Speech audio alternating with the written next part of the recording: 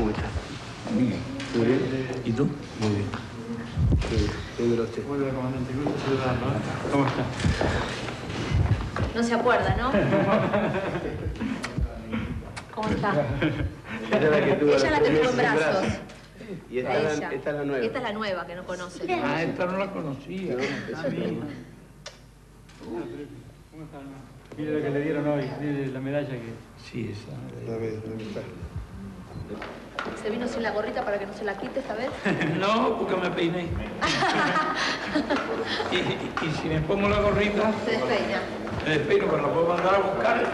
Sí, porque la va a A regalar. ver, se regalo esta vez. Y yo le traje una camiseta nueva. Una camiseta de este. Esa. Dale un beso. Vos también, vos también. Ahí está. Dale un beso. Ay, qué testimonio, ¿eh? Dale un beso, mucho. Ponete al lado, ponete al lado y saca. Ahí está. Ahí te da un beso el comandante. Ahí está, ahí está. Ay, qué lindo. Qué Qué lindo. recuerdo, qué recuerdo. Qué como pasa el Esto lo van a tener para toda la vida. Esto-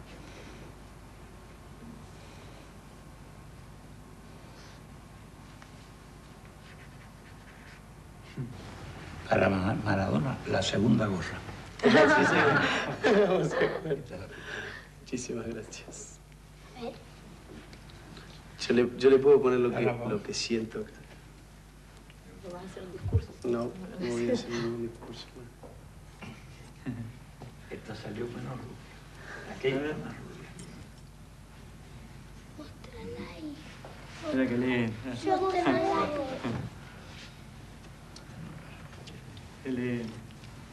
¿Cómo lo encontró Maradona, comandante? Lo encontró óptimo. Lo encontró muy bien. Y con excelentes ideas. Lo veo decidido a, a luchar por el fútbol. Y a vencer con el fútbol. En 1995 tendremos la posibilidad de contarlo en la República Argentina, a usted. Bueno, lo más probable.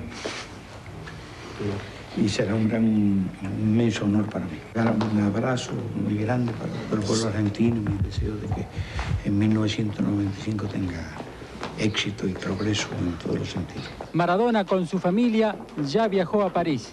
Allí va a recibir el día 4 el premio El Mérito a su carrera deportiva.